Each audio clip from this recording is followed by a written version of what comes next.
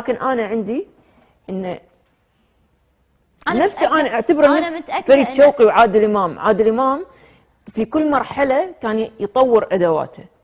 في فنانين عندك مثلا سمير غانم كلهم نجوم ما بس ما طوروا أدواتهم، ظلوا صح. في مكانهم.